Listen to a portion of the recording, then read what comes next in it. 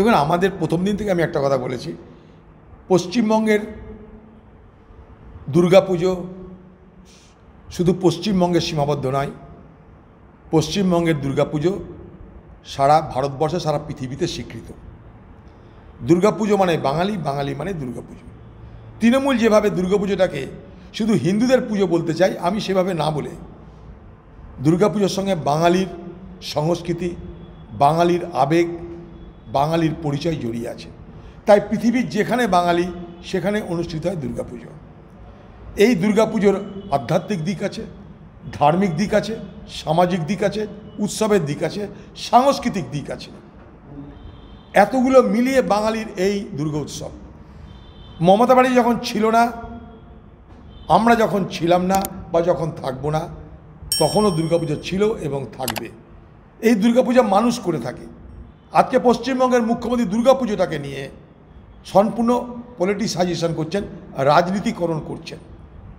যেন দুর্গাপুজোতে মমতা ব্যানার্জি টাকা দিচ্ছে, অর্থাৎ দুর্গাপুজো যারা করছে, বাংলার মানুষ, তোমরা মমতা ব্যানার্জিকে তার উপকারটাকে ভুলে যেও না, ভোটের সময় মনে রেখো। এটাই তো মূল বক্তব্য। ষাট হাজার টাকা দেওয়ার পিছনে মূল তো কারণ তো এইটাই, নাকি আমরা কি কিছু বুঝি না? অন্তর্নিহিত কারণ তো এইটাই। বাঙালি তোমাদের দুর্গাপুজোতে টাকা দিলাম ভোটের সময় মনে রেখো মমতা ব্যানার্জি এই তো? এইটাই তো মূল কথা। তাহলে আপনি মানুষের টাকায়, সাধারণ মানুষের টাকায় আপনি দুর্গাপুজোর নাম করে আপনি ভোট করছেন। পশ্চিমবঙ্গের বাঙালিদের কাছে বারো মাসে তেরো পর্বণ আছে। পশ্চিমবঙ্গে শুধু দুর্গাপুজো নয়, ঈদ উৎসব পালিত হয়, বড়দিন পালিত হয়, বাঙালির বারো মাসে তেরো পর্বণ আছে। কোথাও তো আপনি টাকা দিচ্ছেন না।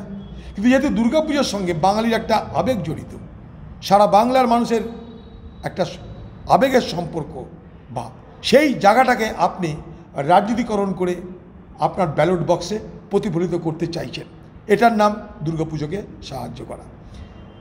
কিন্তু সেখানে মানুষের অংশগ্রহণ অনেক বেশি জরুরি। দুর্গাপূজাটা সোশ্যাল কোয়েশন তৈরি করে, সামাজিক বন্ধন তৈরি করে মানুষ চাঁদা দিয়ে দুর্গাপুজো করে।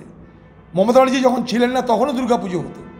আজকে ইউনেস্কো দুর্গাপুজোকে সম্মান দিয়েছে। এটা মমতা ব্যানার্জি দেখাতে চাইলেন, দেখো, আমি কত বড় কাজ করে দিলাম। তা নয়, ইউনেস্কো প্রতি বছর ভারতবর্ষের বিভিন্ন উৎসবকে, পৃথিবীর বিভিন্ন উৎসবকে এরকম স্বীকৃতি দেয়।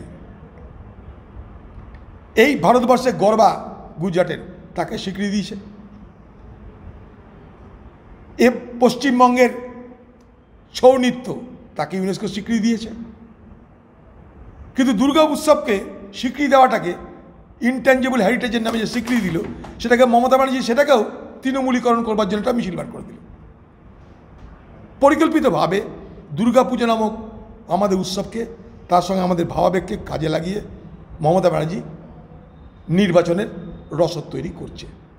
খুব পরিষ্কার কথা হচ্ছে এইটা।